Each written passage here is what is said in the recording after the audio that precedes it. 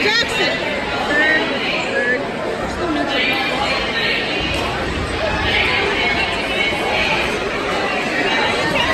Yeah, because I've seen she was neutral, so you should do it to neutral now.